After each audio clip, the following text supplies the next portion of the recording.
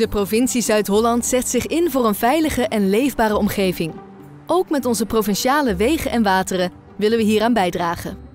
We maaien bermen bijvoorbeeld minder vaak, zodat verschillende bloemen, planten en bomen beter kunnen groeien.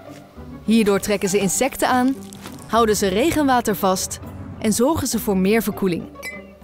En als we de bermen maaien, proberen we van de resten nieuwe producten te maken.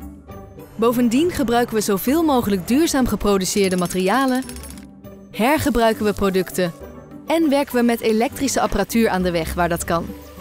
Ook onderzoeken we voortdurend nieuwe mogelijkheden voor nog schonere en slimmere wegen. Zo maken wij de provincie steeds duurzamer.